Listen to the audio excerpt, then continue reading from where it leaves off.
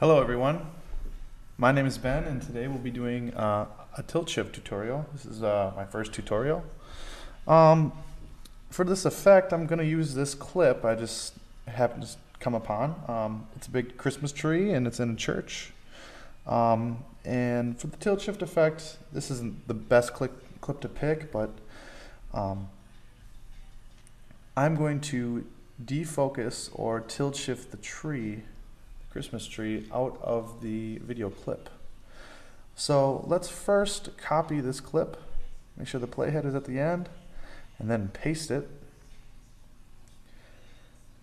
And what we're going to do is take off the audio file and put it right on top of that clip and make sure everything's lined up. Then we're going to put an effect on. We're going to defocus the top clip with a defocus effect. As you can see, it's very blurry. You can adjust this to your liking. I'm going to adjust it just a little bit, um, just to make it a little more um, out of focus. From here, we need to do a second part, and that is to put a 8-point garbage matte over the top clip. So altogether we will have two effects on the top clip. We will have the defocus effect and the 8-point garbage matte which is under the matte menu. And what the 8-point garbage does is you can select areas on your video clip you want to either remain in focus or out of focus. You can invert it however you'd like. So um, what I'm doing here is I'm selecting specific points that I'm going to outline this Christmas tree here. Um, you can either click the plus and point where you want it, or you can click the plus and drag where you would like it.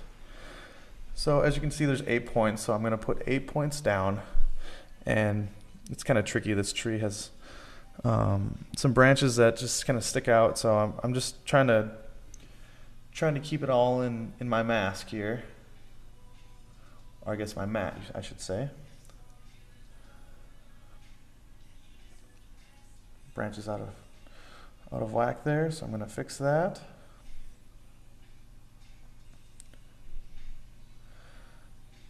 You can see a little bit that is out of focus right now, but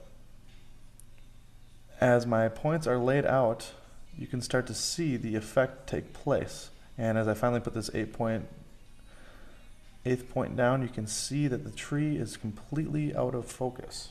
So now what we're going to do is, now that we have our object or plane or whatever you'd like out of focus, we're going to feather it. So as editors, we don't show our viewer um, that maybe we did this on purpose or that the effect is uh, professionally done with a nice camera, which I do not have.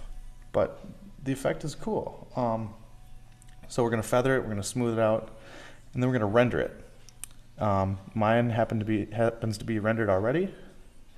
And this is the effect. I'm going to show you the difference between them. That's the real one, and that's the out of focus one, kind of the um, tilt shift. So that is the effect, and I hope you enjoyed it. Hope you learned something, um, and thanks for watching. Hopefully there will be some more. Thank you.